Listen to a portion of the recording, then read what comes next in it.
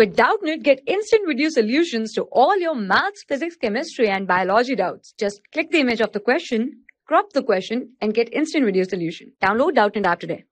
Hello everyone, here the question is 1.2 gram of Mg whose atomic mass is 24 will produce MgO so which is equal to right so among this we have to find out that 1.2 gram of Mg will produce MgO which is equal to so first we write the reaction of MgO so when Mg react with half of O2 it forms MgO so what we see that 1 mole of Mg formed 1 mole of MgO right?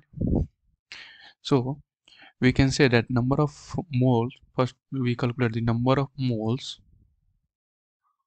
in 1.2 gram of mg. So number of mole is calculated by given weight that is 1.2 and molar atomic weight of mg which is given that is 24 so it is equal to 0 0.05 mole. Right? So we can say that the number of mgo the number of mgo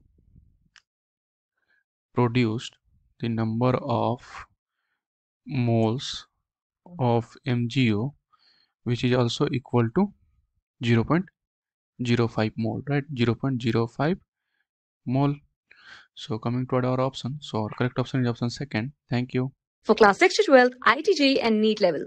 Trusted by more than 5 crore students. Download Doubtnut app today.